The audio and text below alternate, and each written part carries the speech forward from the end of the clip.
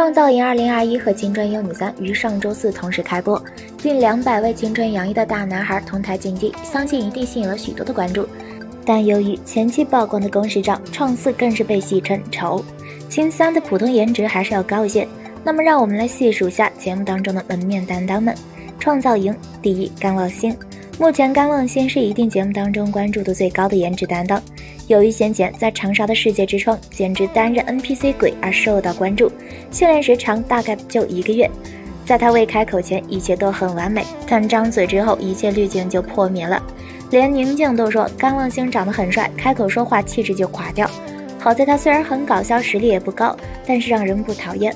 看得出邓超很喜欢他，不知道以后是否会找他拍戏呢？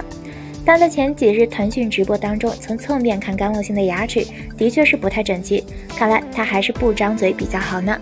二米卡，所谓寸头才是检验男生颜值的发型，米卡的脸实在是太小了，寸头也挡不住他的帅气，唱歌又粗又好听，头发留长之后又是不一样的感觉哦。三河马，感觉河马的颜值完全被创四滤镜给拉低了，在直播当中反而比节目当中更帅，笑起来很像张新成。日美混血，纽约长大，还是哈佛大学的学霸哦。四刘宇，在最新一期的节目当中，刘宇绝对是给人印象最深的选手。他和赞多最后的舞台 battle 算是中外文化的意外交流。跳大鱼的时候，衣服简直是太美了，他的脸也是绝美。希望能够通过这次节目，让更多的人看到汉服和国风文化。青春有你一于景天，于景天应该是前两期节目看下来综合实力很高的一名选手。年仅十九岁的他，在两年前就参加过韩国版的 Produce 四零四，最终以十九名的成绩闯入决赛。一米八五的他，盘量调顺，外形十分亮眼，实力不容小觑。盲猜一下，他今年会 C 位出道。二孙颖浩，孙颖浩虽然留了一头长发，但是给人的感觉还是很英气的，但就是太瘦了。出舞台的独舞也展现了一定的舞蹈实力。三邓孝慈，邓孝慈在前两集的节目当中只出现了几秒。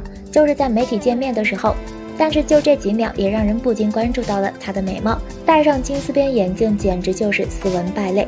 期待一下她后面的表演吧。看完今年的练习生，确实可以让我总结出，今年的练习生真的是百花齐放，从很常见的小奶狗帅气类型，再到胖胖的非常可爱的熊猫糖，再到这种非常中性的温柔形象，可以看得出来，这两年大家对于年轻人的审美也有了非常大的包容度。这届练习生可以登上如此大的舞台，也可以看得出来，越来越多的人开始认可不同的审美，也意味着国内的审美开始有了不同的层次，却有了更多的包容度。在去年的《青春有你》第二季推出的女子团体乐奈，我们就可以看出，这一个九人女子团体里面有两个团员都是走中性风格的。从作为 C 位出道的刘雨昕，再到最后一名出道的陆柯燃，这两个在之前可能不大符合女子团体审美定义的女偶像，登上了娱乐圈。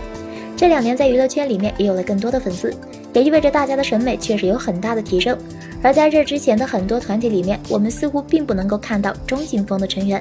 今年的创造营四第四季邀请到了 Fax，做一个男孩第一概念女团里面的中性成员 Amber 刘逸云作为导师。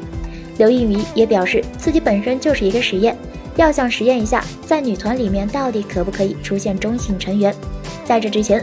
在这之后，似乎没有一个韩国女子团体里面再有中性成员的出现了。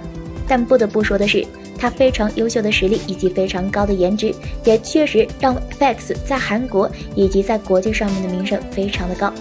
而在今年的这些练习生里面，我们也看到了各种千奇百怪的初舞台，大家越来越能够接受这样的审美，也说明在最后也确实可以给我们带来非常优秀的一个富有审美多元化的团体。但是。还是有非常多的网友对于这一类型的男走向提出了自己的意见，认为没有一点阳刚之气，这样的男生不能够在娱乐圈里面，会影响很多的粉丝。总之，大众的意见还是非常的多元化的。你怎么看待现在的偶像越来越偏中性风格呢？